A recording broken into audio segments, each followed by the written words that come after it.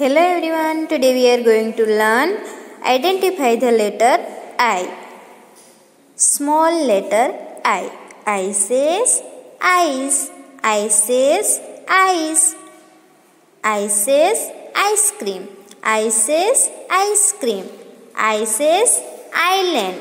I says island. I says igloo. I says igloo. Everyone speak with me, okay? I says ice. I says ice. I says ice cream. I says ice cream. I says island.